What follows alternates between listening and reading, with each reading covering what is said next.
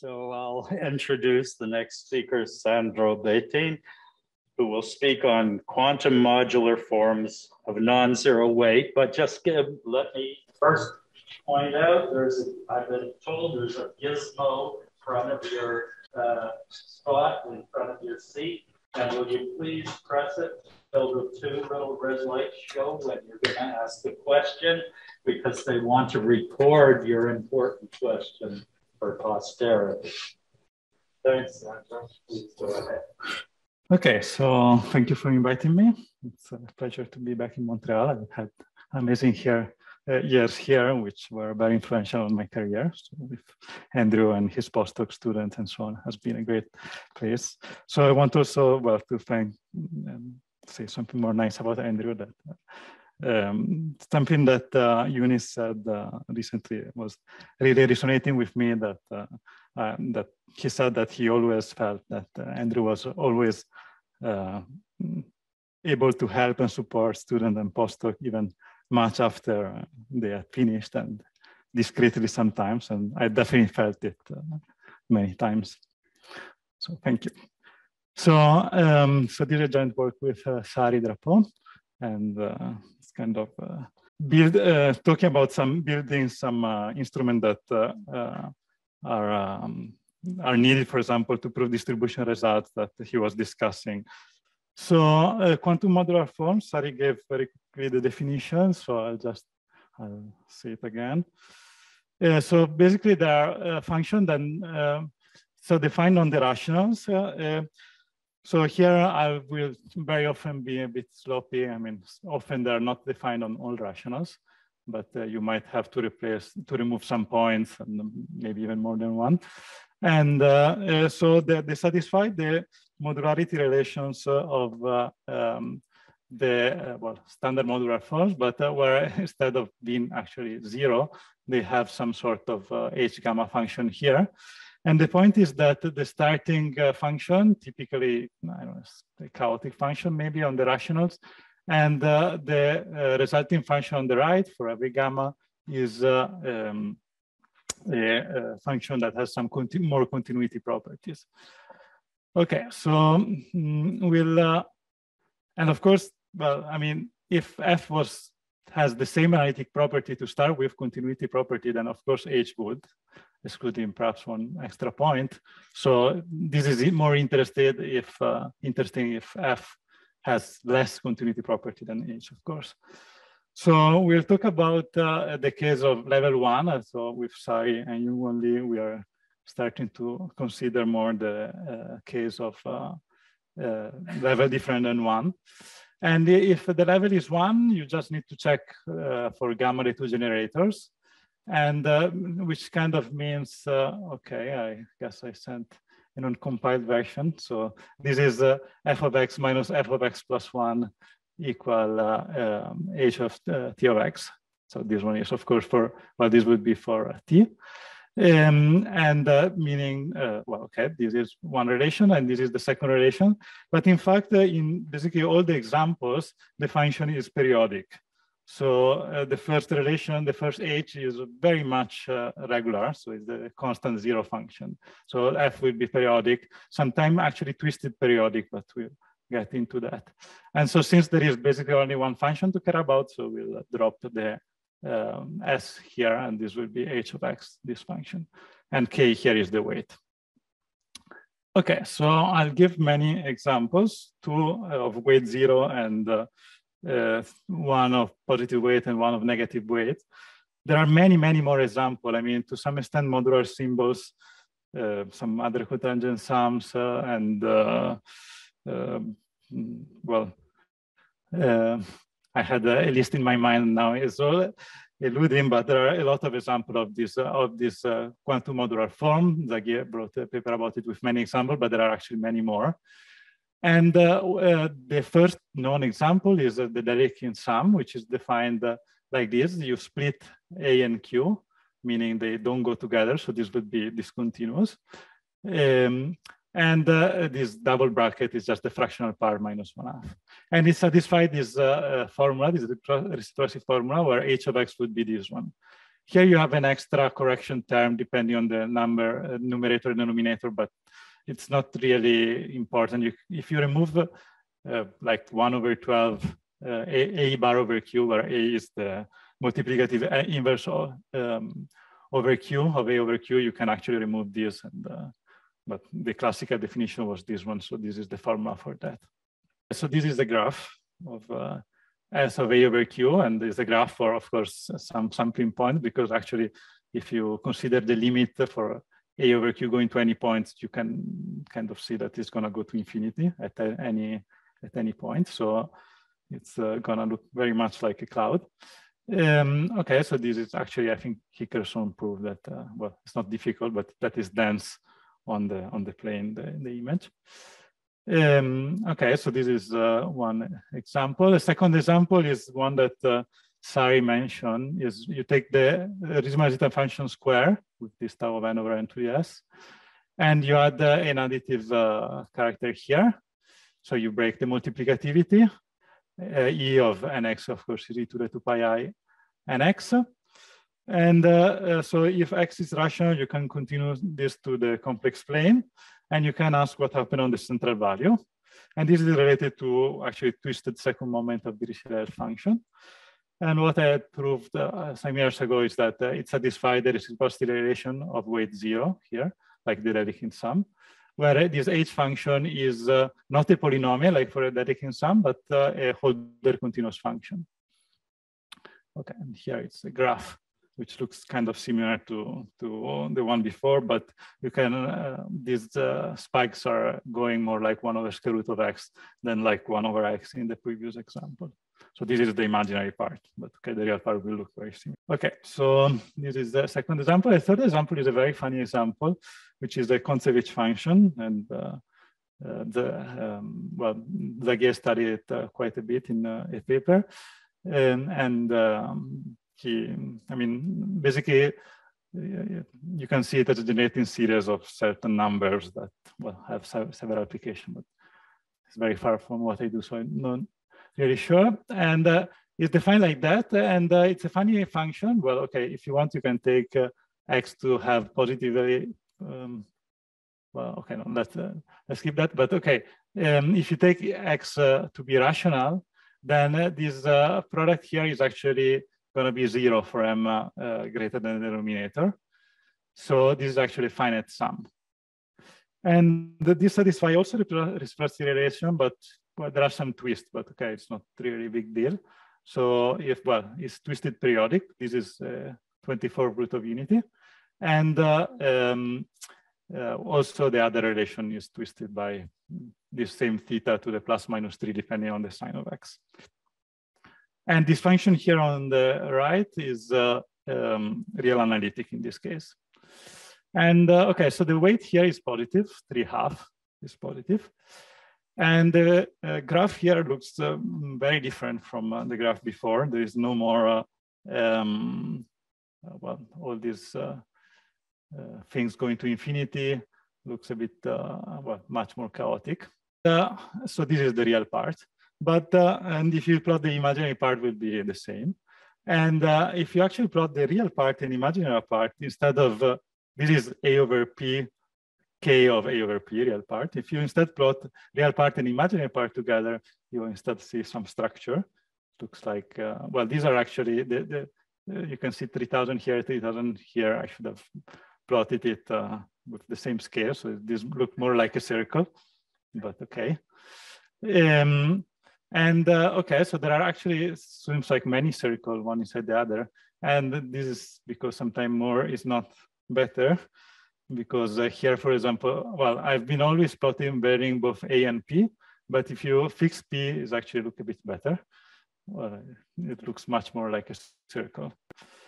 And uh, well, like a ellipse in this case. But, uh, um, and we'll get back into this, what's happening with this function. Okay, so that's uh, uh, the third example, and this is an example instead of uh, also by Zagier on uh, um, negative weight. So you take all uh, quadratic polynomial of a fixed discriminant congruent to one mod four, a non integer k, and you sum uh, over, well, there is also negative leading coefficient That's another uh, condition. And you sum q of x, x irrational, and uh, um, over all the q of the, over all the q's, we are summing over q, such that q of x is greater than zero. So uh, this is actually again a finite sum. Uh, there are only finitely many quadratic functions that appear for x rational. For x irrational, instead, it would typically be or always be, I think, uh, infinitely many. And this satisfy uh, also a, um, a reciprocity formula is periodic and satisfy a reciprocity formula, where this one is a polynomial of size 2k. Okay, here it is 2k, so the weight is minus 2k. And if you plot the graph, this is for four values of k, you see now something very different from the previous examples. You see, well, a constant, which is not trivial, by the way. I mean, it's not difficult, but to show that this is actually always constant for every rational if you if you take k equal 3, and also for k equal 1, actually. And uh, is uh, some, looks something that is smooth, these other functions. Well, and uh, well, it's, in fact, it's not smooth. Uh, um, what uh, um, Zagier proved is that is, um, well, with, um, yes, sorry, uh, it should be uh, of, um, I think is differentiable k uh, times, I think, if I did k minus one times, if I define things like that. And uh, uh, the way he proved this, one can also do it directly from the definition, so it's much more complicated. The way he proved it is by showing that this, uh, this function here is uh, uh, essentially the Eichler integral of certain modular form evaluated at rational, and this a convergent Fourier series so it's continuous and uh, it's, uh, I mean, it will have a power of like n over k over two once normal, n over k here. Once normalized, so uh, it will make things uh, continuous and differentiable this many times. So he has this proof of it. Okay, so, um, okay, I should maybe go a bit faster, but um, okay, so these are the two uh, relations in general. And you, this one, you can think of it in terms of the Gauss sum. Sorry, I mentioned this the other day. So f of x minus x to the minus k, this is, well, maybe if you assume k and f are even, just to not worry about all the signs, but it's really relevant. Uh, this is f of t of x, where t is the Gauss sum, so fractional part of 1 over x, because f is periodic. So f of 1 over x is f of fractional part of 1 over x. And if you iterate it, you get this sort of formula and until uh, you keep going until this terminates. So at some point, tr of x will be zero. R is essentially the length of the continuous fraction function of x. And from this, you can see that uh, whether is zero, positive or negative, it makes uh, a big difference in, uh, in uh, the way this thing behaves because uh, t of x is between zero and one, but two consecutive t of x, like for example, tx, t square of x, is actually less or equal than one half. So uh, if k, for example, is negative, then this minus k is positive. So this one uh, will uh, uh go um, fast to zero, exponentially fast to zero.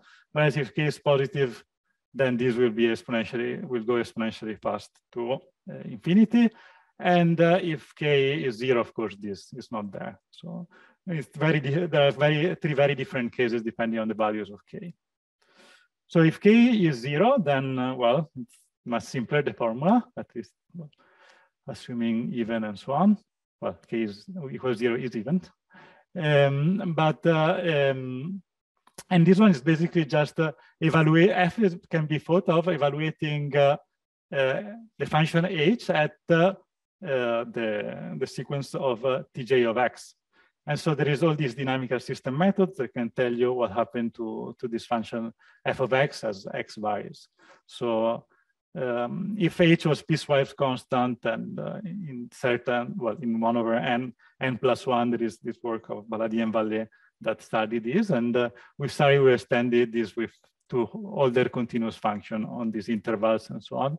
And one uh, can uh, uh, arrive to this theorem, which says that uh, if you if you want to look how these f of x are distributed, if you vary the x among rational fixed denominator, oh, sorry, of denominator of 2q, as q goes to infinity, this one become distributed according to some stable law under very mild hypothesis.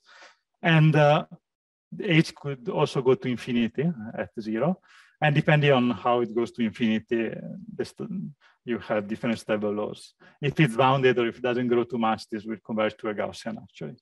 So, so this one is now clear, this weight zero. The weight non-zero, it's uh, we started actually on a one-page uh, appendix in the, in, our, uh, in that paper, and we said, okay, maybe we should expand it. And once we actually started fixing the details because everything was very sketchy, we realized that things were much more complicated. Now it's getting to a 30 plus pages paper.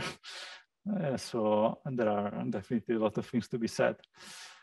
So, okay, if k is less than zero, we said this one is positive. So this is exponentially, converges exponentially fast. So in fact, you can even define this at the real. This uh, is a convergent series. You just, uh, t of x is never zero, so you just keep going. And uh, this one you just remove, or you think of the, denominator to be infinity, so this is zero. And you have this formula. And this formula converges for all x. And uh, uh, in fact, uh, this the fact that it's converges for x with this definition immediately gives, if uh, for example h is bounded, that uh, um, this uh, this will be actually this function defined like this f triangle will be um, continuous at all irrational number, and um, you can work out what happening rational. This is a computation, not too difficult. And you can see that uh, at rational number x, the right and left limit are, well, the original value of the function, plus uh, or minus, depending on the side. Um, this, uh, uh well, no, sorry. Uh, okay, sorry, yes, plus uh, this thing here. Okay, maybe it's probably plus or minus. Um, and h0 minus, so if h0 minus f of 0 is 0, so this is actually 0, so the function is continuous. So if h of 0 is equal to f of 0, this function here is actually a continuous function. And h of 0 equal to f of 0, if you go back to the uh, to the definition here, it kind of means that this formula also holds at 0. If, for example, you assume f doesn't grow too much, f of 0, this 0 to minus k, minus k is positive, so this is also 0. So you can think of this 0, f of 0 equal h of 0. So in that case, uh, this function, you can define it also like this.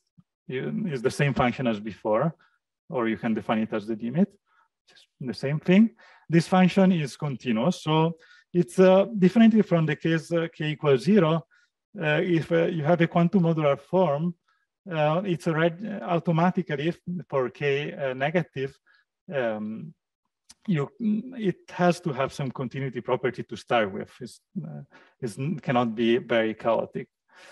And uh, uh, in fact, uh, with a longer computation, um, one can actually show that uh, if h is smooth, for example, then uh, or well, if it if it differentiable at least k over two times, then actually this f function will be differentiable well, the integer part of k over, well, uh, um, for the greatest integer below k over 2. So this one assuming uh, uh, h of 0 equal f of 0. And uh, so this gives a proof that doesn't have anything to do with modular forms uh, of uh, the result by Zagier that, that quadratic sum was continuous and differentiable exactly uh, k minus one, uh, sorry, yes, k, um, k minus one times, and this is exactly equivalent. Uh, this is follows here much more generally. So it was not uh, by chance that the function of Zagier was automatic by, by the fact that it was uh, a quantum modular form. Okay, so the proof uh, well, it's a computation to prove that it is differentiable, it's longer computation, and then one can use some sort of inductive argument uh, differentiating this function once you know is is differentiable and, and the derivative will become a quantum modular form of weight minus k minus, uh, minus k plus two, and, uh, and one can iterate. Uh, this is uh, what I was saying. Okay, so if k is greater than zero, then uh, of, um, look, things look a bit more complicated because uh, um, this is, uh, um, well, going to infinity. But in fact, if you express this uh, in terms of x bar, so where x bar is uh, p bar over q, p again is the multiplicative inverse of p modulo q. So this function here, uh, this product here actually have a nice expression in terms of continuous fraction expansion of x bar. So this you can rewrite this in this way where these one are the partial denominator of x bar. In particular, if something, um, if you don't move much from h bar, the, uh, the partial denominator do not change. So the first few ones, sorry. And so this actually function on the right is a, a continuous function of, uh, um, uh, well, you, um, also at rational, it's a continuous function of h bar, x bar, sorry. So um, if uh, h is bounded. So you don't even need h continuous like before. Uh, if h is bounded, this function defined as before, but now we are moving on x bar is uh, automatically continuous without any other um, any other uh, hypothesis. And in fact, is the Hölder continuous almost everywhere. And if k is greater than two, is has the derivative zero almost everywhere. So again, uh, if k is positive, also in this case, uh, the quantum modular form cannot be too chaotic. They are uh, um, they are uh, continuous to start with. You just need to do a change of variable x into x bar, and you get something that is continuous. And uh, well, if it's uh, twisted, if there are some twists, you just need to oops, to uh, make some minor modification. For the Kontsevich function, the corollary is that this function here is continuous, so it's almost uh, the Kontsevich function at uh, x bar. You just need to add this a 24 root of unity in front. And this uh, phase here is sigma of x is the, the alternating uh, sum of the digits of the continuous fraction expansion. This is actually the character, the multiplier appearing uh, for the Dedekind eta function. This is actually a known function. And uh, well, if you remove this, you're just kind of have 24 different continuous functions. So yeah, so this is the graph of uh, k of x uh, uh, with uh, x bar instead of x, what k of x bar basically sampling at uh, rational points. And if, again, if you remove this one, it's not that uh, uh, k of x by itself will look very chaotic. You just have 24 of these functions, not just, not, not just one. And um, okay, this is the real part and the imaginary part, or vice versa, I don't remember. And going back, so this is again, the plot on the complex plane. So this is the, well, actually the real part is vertical here. So the, uh, the plot of real part of K and imaginary part of K put together, you see some, this fractal structure. This is uh, for K bar over A over P. And this looks very funny, but this uh, looks uh, very much like, uh, if you look very far, like a piece of a circle, in fact. And uh, if you don't if you don't remove the uh, E over um, E over sigma x over 24, I was saying you have 24 different continuous function and uh, they actually, uh, well, uh, unsurprisingly, they all attach each other. And this is the circle that uh, one was starting to see before. And uh, its color correspond to a different, to the different piece, well, to the different root of unity. And okay, there are some random points around, but that's just computation uh, that, that with small values started being a bit, uh, well, all over the place. Okay, so this is, uh, well, okay, so basically a corollary of uh, the theorem is that this function here is actually continuous. It has a fract fractal-like structure, but it's actually continuous. Okay, so um, let me see how much time I have. I have a little bit of time. Um, so we actually prove also the, uh, we consider the convergence in uh, distribution. Uh, so what happened to this f of a over q as uh, a and q vary? Well, actually for q fixed differently from the case k equals zero, we can fix q. And we have to normalize if k is, well, greater than zero. So um, this one, well, okay, so just an observation. If you have f of a over q and f of a bar over q, this doesn't change. uh, because, well, uh, A bar uh, goes over all the coprime residues.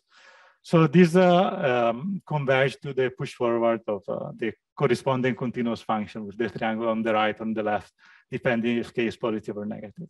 So this is not so difficult to prove this first part here. And uh, it uh, generalizes uh, um, um, some work by my, well, not but um, some work by myself and by well before by Rassias and Maier on a certain cotangent function, but this is way more general and it doesn't use all the property that were heavily used in that case. Um, okay, so what is more complicated, uh, at least in um, the case um, k greater than zero, is uh, that this, uh, the distribution function, this push forward, um, um, the cumulative distribution function is continuous. So you have to assume a little bit more on h. So if k is less than zero, you have to assume that h is real analytic. So we, so we could prove it only if h is real analytic. And uh, if uh, a, a k is greater than zero, where we were assuming only h bounded before, now we have to assume h is continuous. And in fact, uh, one can see that uh, uh, this is not really a, I mean, H continuous, for example, for k less than zero, um, the result would be false. So the cumulative distribution function can be um, non-continuous if uh, uh, H is only continuous. So yes, we couldn't prove it for uh, all the H function that we consider, but there is also a reason. So I have uh, a proof of it, but uh, I think I don't have time to say it. But uh, well, only on one case, the, the, the, easy case. So instead, I'll conclude by just showing some picture of just because there are some funny objects and different quantum modular forms. So this is a cotangent sum that uh, I introduced with Brian, Brian Conrey some years ago. And uh, this zeta here is the Hurwitz zeta function. And for a equal to minus one, well, this has a pole, but they will all cancel. And uh, this is the, the well, the, the pole, polar term will cancel. And this is the Dedekind sum actually, maybe up to a constant. And uh, um, for equal, uh, instead zero, this becomes basically cotangent. And this, uh, the, um, sorry, this become a fractional part. And this is basically the function I was the cotangent sum I was mentioning about before. And here instead, uh, because there is something funny happening, uh, I took uh, some uh, values on the one half line. So here zeta is computed, zeta is the Hurwitz zeta function, not the Riemann zeta function. It's computed in minus a, so on the minus one half line actually. And uh, uh, well, these are a bunch of graph of the real part of this for several values of a over q. So they look, uh, again, a bit uh, fractal-like. And in fact, uh, from our theorem, it follows that these are continuous at all irrationals with jumps at rationals instead. And uh, they are all uh, actually at their one quarter order continuous, one quarter minus epsilon, they're continuous at all irrational, which is maybe not so clear from the pictures. And the picture will look uh, all a bit, well, somewhat similar, somewhat different. And uh, there are some that are uh, a bit uh, uh funnier than other. So this 14 one is a bit different.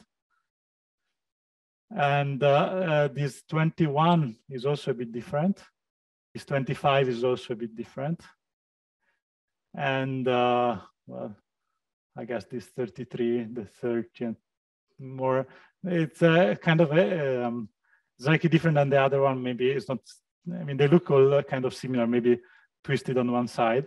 And maybe someone that uh, is very much into the Riemann function will maybe have a guess.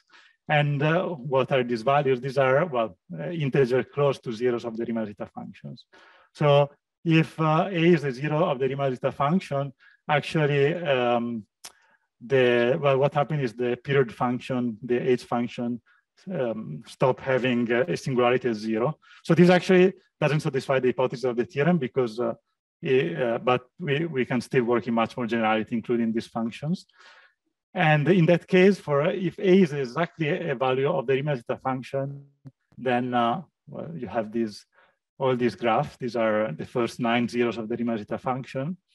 and uh, becomes uh, three quarter Hölder continuous almost everywhere actually, instead of uh, one quarter. So there is something funny happening at zeros, which is absolutely not clear because well, this minus a first is not on the one half line, it's the minus one half line, and these are Hurwitz zeta function.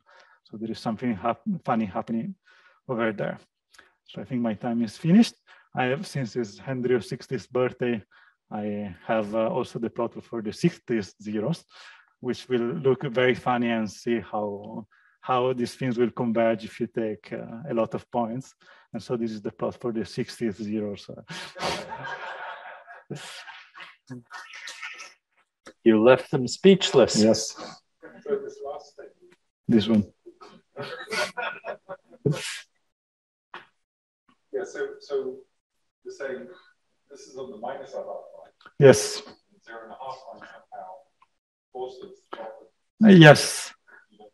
Well, I mean, I know why, but uh, uh, it's. Uh, I mean, well, I. I mean, if you can, does if you can prove something, does it count like you know why, or if you can prove something, does it count as you know why, or it doesn't count? I mean, I can prove it.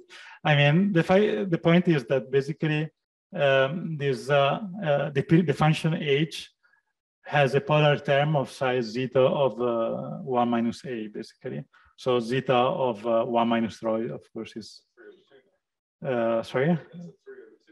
Well, no, because a is 1 half, so 1 minus a is, uh, is uh, well, 1 minus rho is also 0. So the, basically, uh, the polar term would cancel and you get you gain some continuity properties like that. So, I mean, yeah um, yeah, I'm not, well, okay, it's basically coming from that. It's absolutely unclear how to see it from, from this definition, why uh, A being zero of zeta would make any difference. So. You said that they equidistribute uniformly with respect to some measure. Yes. Which is not Lebesgue measure, but. Yes, the push for, well, it's basically this function uh, f, uh, well, that part is not very difficult to prove, but it's not absolute, not obvious, but it's not difficult. Um, so basically, this f more or less continuous. I mean, to a, a continuous function, f at rational. So uh, the computing f at random rational is essentially the same as computing the Stanton function at random real in the same uh, uh, in the same uh, part. So it, you can prove it through. You have to basically you have to control how often uh, some uh, uh, continuous fraction term are large partial coefficient and then.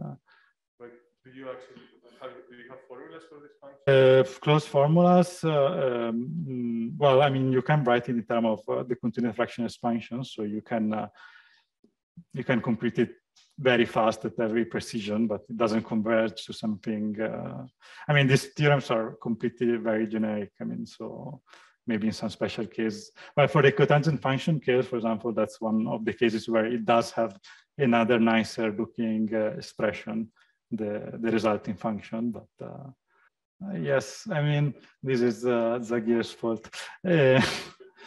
Uh, this so, is for grant applications. Exactly.